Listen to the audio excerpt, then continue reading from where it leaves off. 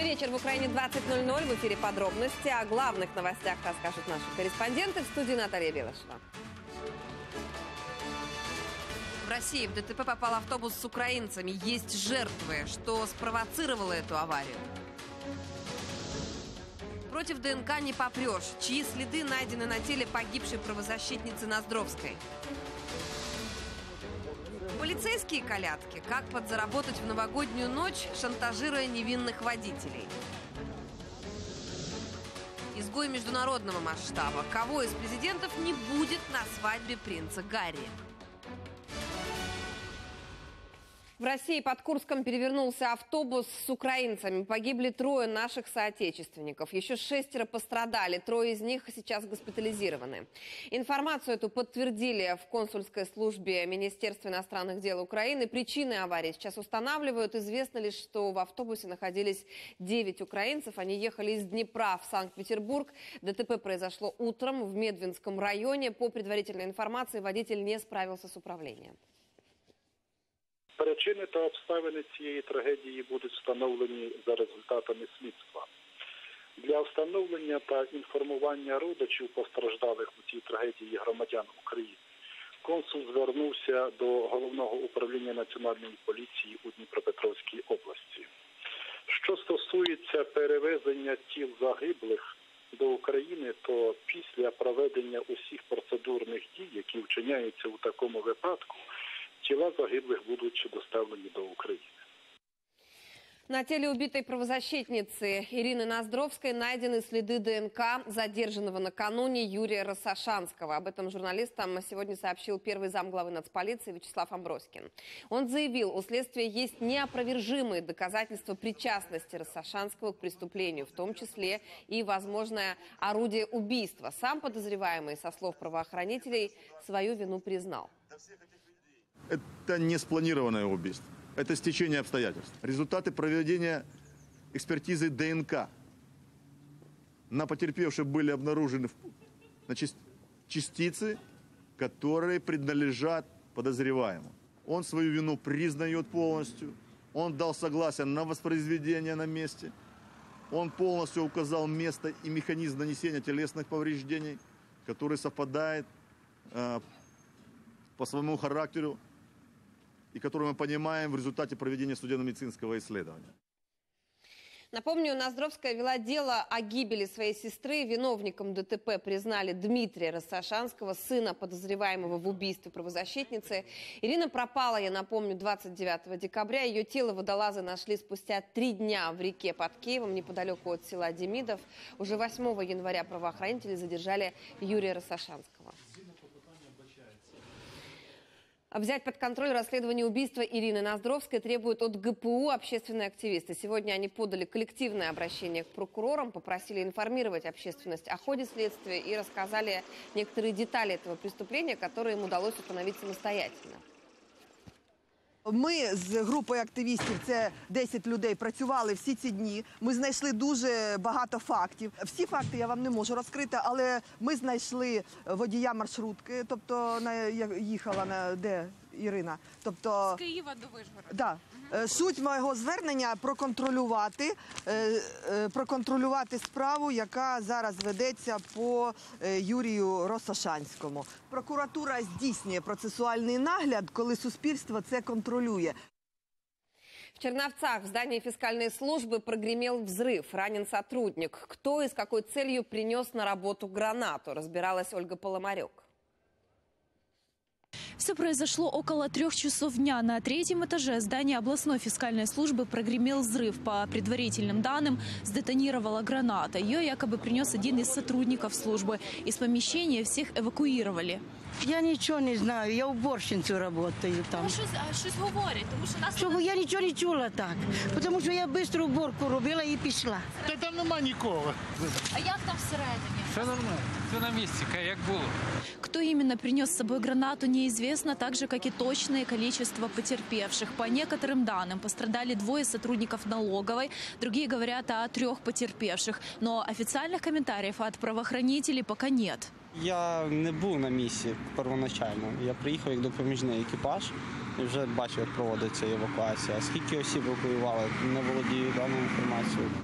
Сейчас на месте ведутся следственные действия, работают взрывотехники, кинологи, сотрудники СБУ и прокуратуры. Известно, что в фискальной службе уже рассматриваются варианты усиления режима безопасности здания. Ольга Поломарюк, Игорь Рига, подробности, телеканал Интер, Черновцы. Боевики продолжают нарушать режим тишины. По сообщению штаба АТО, наемники используют минометы 120-миллиметрового и 80, э, э, 82-миллиметрового калибра в районе Новолуганского и Верхнеторецкого. Тем не менее, в недавно освобожден- освобожденном Травневом постепенно налаживается мирная жизнь. Все подробности расскажет Геннадий Вивденко. Это мины от 120, э, хвостовики от 120-х мин. Их насобирали, дверь закрывается. Вуаля. Также не прекращаются провокации диверсионных групп российских оккупантов. С РПГ были, что работали, выходили ребята.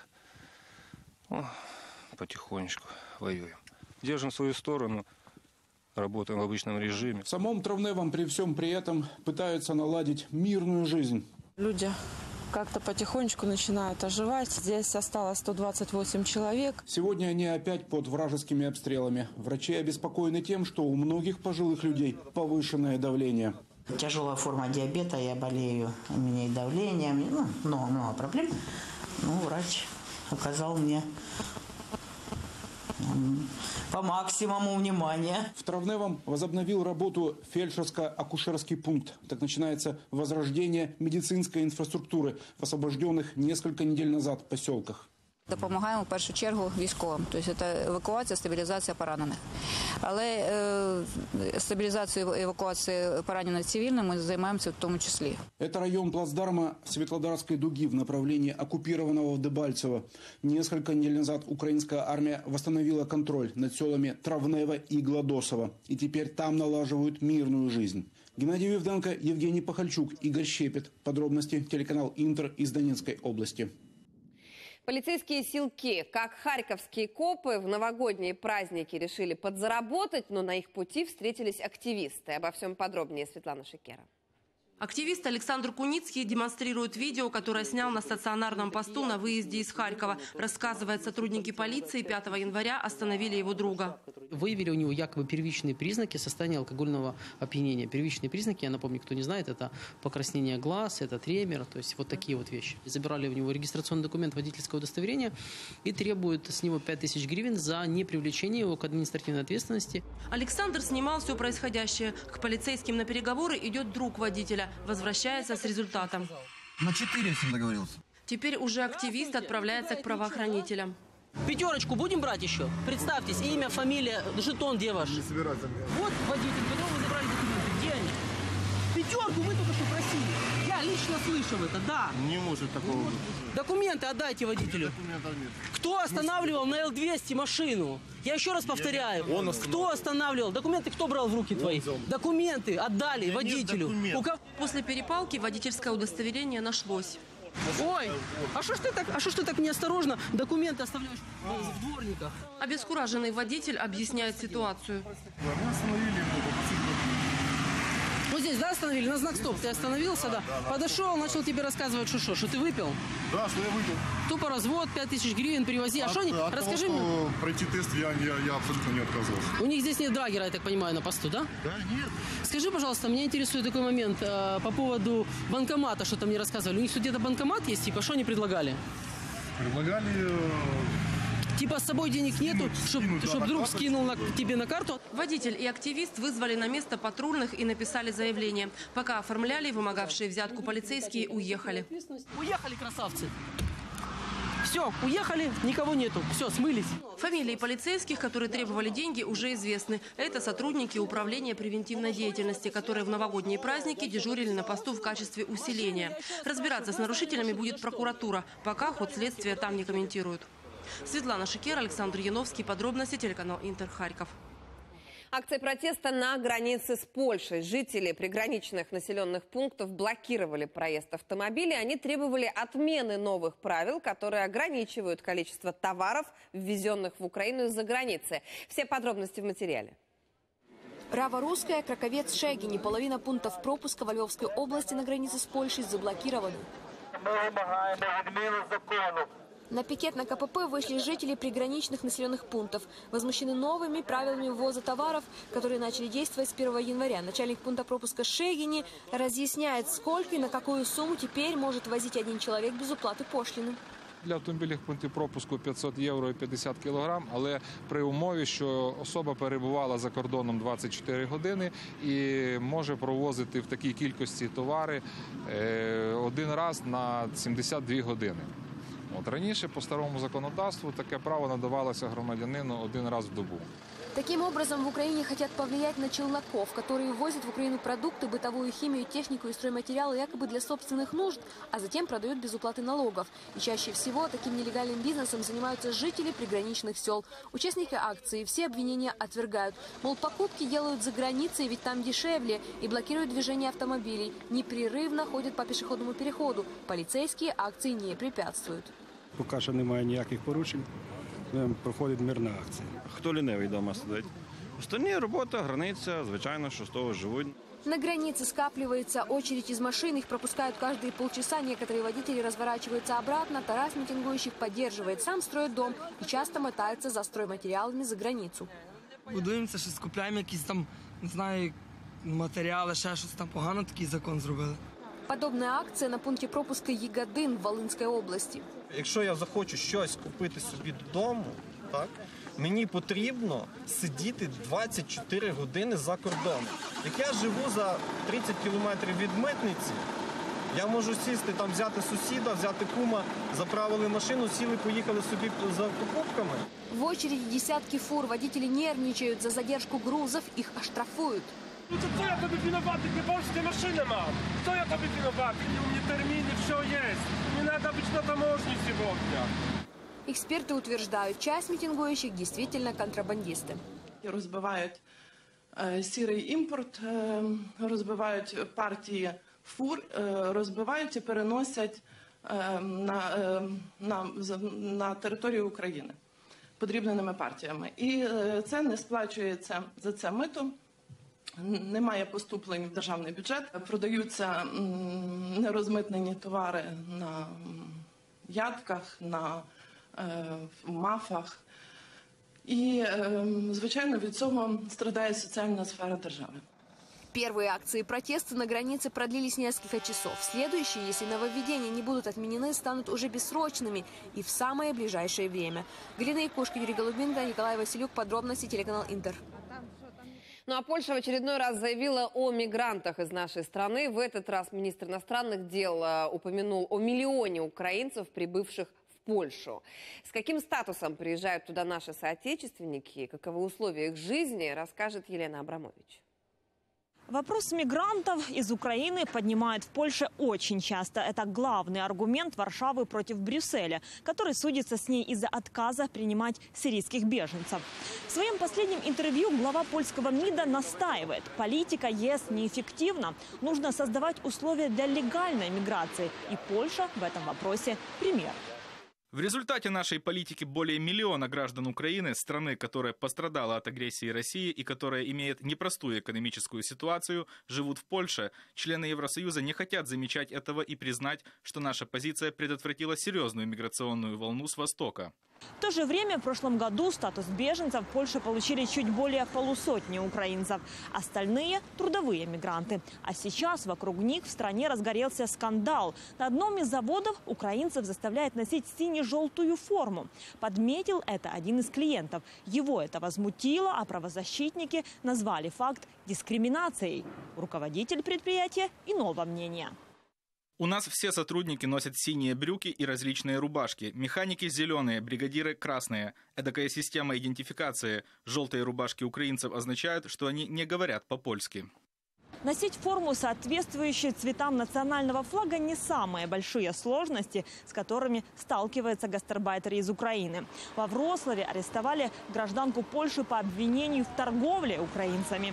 44-летняя женщина брала на работу людей для нескольких строительных фирм. Паспорта у трудяг забирали, чтобы не могли никуда уйти, а еще устанавливали систему штрафов за болезни, смену работы или просто за то, что не отвечали на звонки. Теперь женщине грозит три года тюрьмы.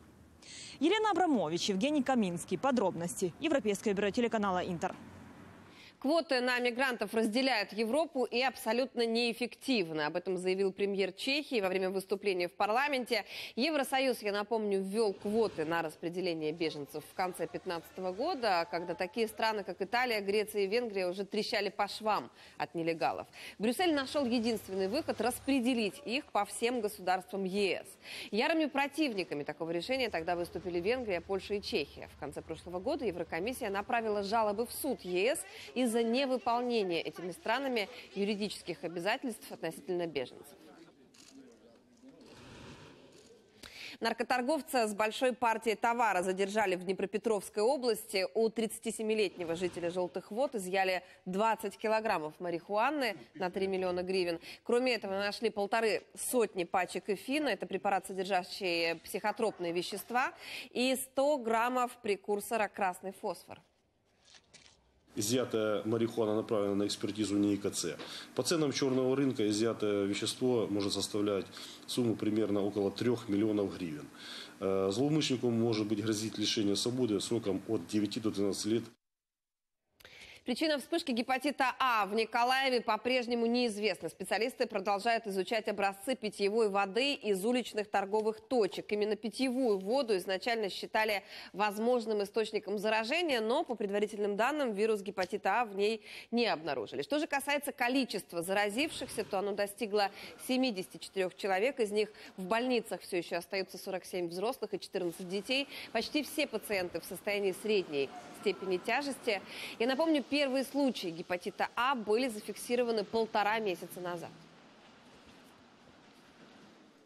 спада пациентов еще мы не фиксируем, но мы понимаем, что он будет совсем скоро, потому что первые пациенты, которые поступали, были уже выписаны. Мы ожидаем еще некоторое количество пациентов, но, к счастью, мы готовы.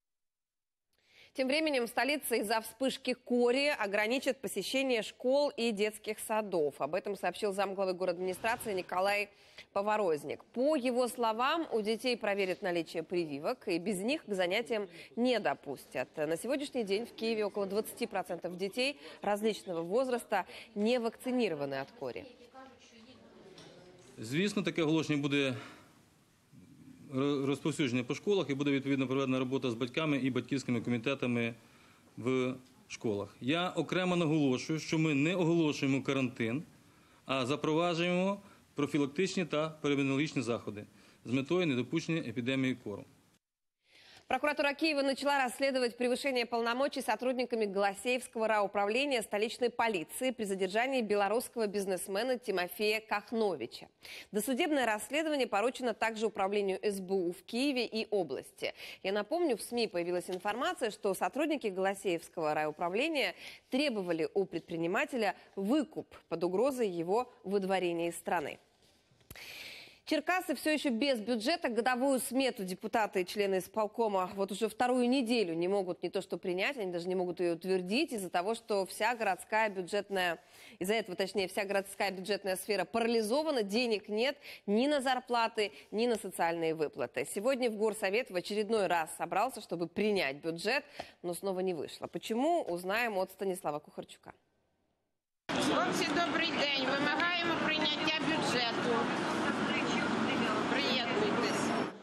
Вот так с плакатом сегодня утром на внеочередную сессию провожали черкасских депутатов. В Новый год город вошел без бюджета, и его до сих пор не могут утвердить. Исполком и горсовет уже несколько раз пытался собраться для этого, но не получилось. То депутаты на сессию не являются, то члены исполкома внезапно уйдут на больничный. Но сегодня горсовет собрался почти в полном составе и сходу отправил исполком в отставку, третью за последние полгода.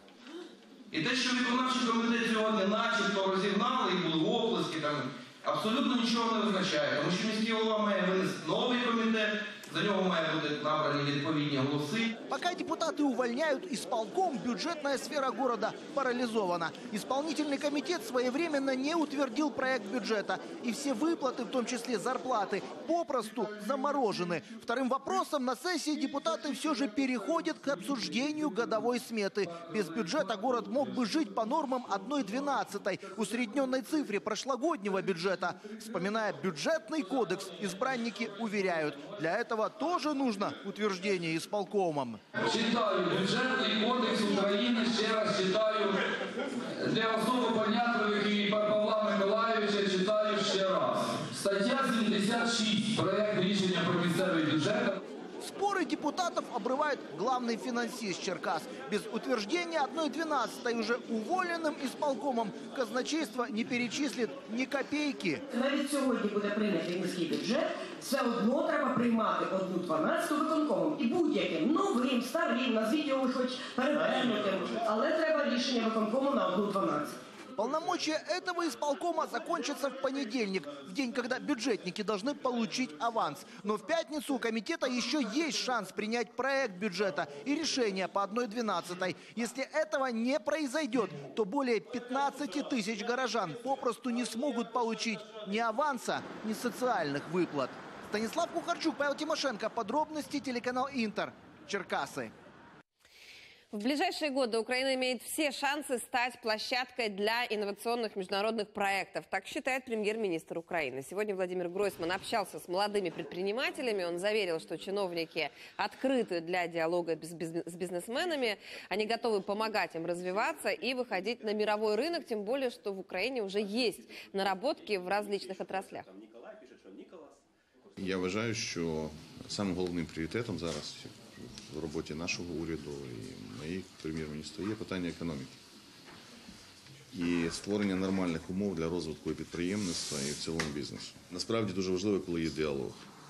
І от такий секторальний підхід для мене є важливим, оскільки в мене є єдине бажання. Я би хотів, щоб Україна зайняла те місце, де вона має бути, і максимально реалізувала свій потенціал. Военные пенсионеры начали бессрочную акцию протеста. Бывшие силовики пришли под Кабмин требовать пересчета пенсий. По словам участников этого пикета, недавнее повышение выплат их не коснулось. Перерасчет действительно был запланирован на 1 января, но в Кабмине приняли решение перенести его на начало следующего года. При этом митингующие считают, что все необходимые нормативные акты были приняты еще в прошлом году, но они не выполняются. Остап Бендер відпочиває, я так скажу. Вони роздали гроші нашим цивільним пенсіонерам, дай їм Бог здоров'я, і правильно роздали. А потім вдруг гроші кончились, а нові знайти не можна. З 2008 року пенсія тим, хто носить погони, а таких у нас зараз 545 тисяч людей, ні разу не перерахували пенсію і не підвищували грошове забезпечення. У мене пенсія 2200. Полковник, стыдно кому сказать, которые были у меня командирами взводов, у них пенсия 5-6 тысяч. Люди собрались и требуют, что надо поднять и как-то это все свести до определенного уровня, чтобы у всех было одинаково. Повышение выплат военным пенсионерам намерен добиваться и лидер соцпартии Сергей Каплин. С таким требованием он сегодня обратился к правительству, президенту и парламенту. Деньги на это, по его мнению, найти можно. Вони почали грати з людьми в наперстях. Вигадали процес створення, начебто, якогось закону, і тепер місяць за місяцем відкладають питання осучаснення, перерахунку, збільшення пенсії для людей. Давайте почнемо оподатковувати мільйонні зарплати керівників державних підприємств і Нафтогазу. Друге, давайте приберемо майже 300 тисячну армію депутатів місцевих рад. Давайте зменшимо її втроє. І ті гроші, які ми витрачаємо на утримання корумпованого, абсолютно неадекватного, неефективного депутатського корпусу направимо на виплату людям зарплат і виплату людям пенсій.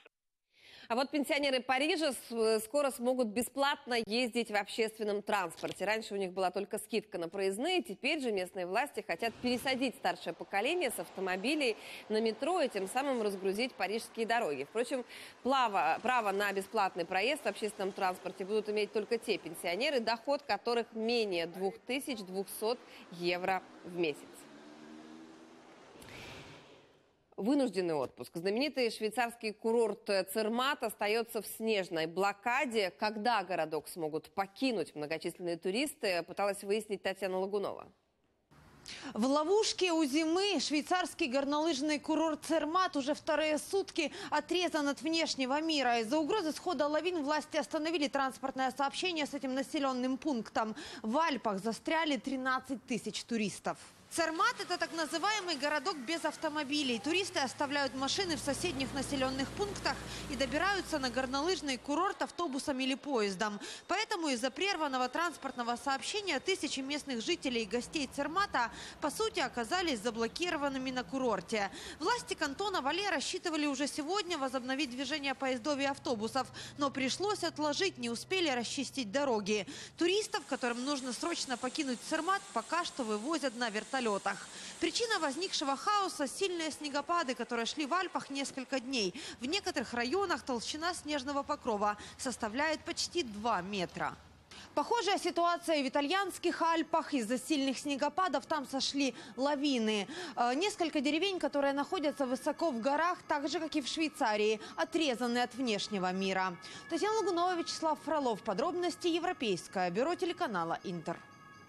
Какую формулу похудения вывели британские ученые? В рекламе какого зарубежного бренда прозвучала украинская музыка? И за что британские СМИ снова заклеймили невесту принца? Обо всем этом прямо сейчас. Больше спать и меньше нервничать. Именно такова формула эффективной борьбы с лишним весом, утверждают британские ученые. Люди, которые дольше остаются в постели по утрам, потребляют меньше сахара. Ведь чаще всего человек тянется к нездоровой пище из-за усталости. В эксперименте участвовали 42 человека. Половина из них спала на час дольше по утрам. Их дневное потребление сахара сократилось на 10 граммов. В Северной Каролине аллигаторы буквально вмерзли в лед, который сковал реки и озера. На поверхности торчат одни носы. При этом рептилии не гибнут, температура их тела снижается, и они как бы включают спящий режим. Такое состояние специалисты называют гибернация. Как только столбики термометра начнут подниматься, оттают и аллигаторы. Пока же посетители могут безнаказанно потрогать этих хищников. Горбатый кит спас женщину-исследователя от акулы. Это произошло в южной части Тихого океана, недалеко от островов Кука. Биолог Ненхаузер плавала возле кита, как вдруг рядом появилась трехметровая тигровая акула. Заметив хищницу, кит начал защищать Хаузер, укрывая ее плавниками. В какой-то момент даже поднял биолога на поверхность на спине. Нен уверена, этот случай доказывает, киты обладают инстинктом защищать других живых существ. Изнасилование – это преступление, а попытки соблазнить кого-то – нет. Коллективное письмо такого содержания подписала сотня известных француженок, а в частности кинодива Катрин Денев. Мужчин без промедления лишали работы только из-за того, что они дотронулись до чьей-то коленки или неожиданно чмокнули кого-то. В документе также отмечается, что желание женщин бороться за свои права превратилось в настоящую охоту на ведьм. Зачем платить больше? Зарубежные СМИ обсуждают очередной выход в свет будущей герцогини Меган Маркл. Для визита на британскую радиостанцию вместе с Гарри невеста надела свитер из обычного масс-маркета. Он стоит всего лишь 60 долларов, негодуют модные эксперты. Мол, не царское это дело носить не брендовые кофточки. В то же время другая одежда, которая была на актрисе, выпущена премиальными брендами, стоит существенно дороже. Это немного смягчило модный приговор для Меган.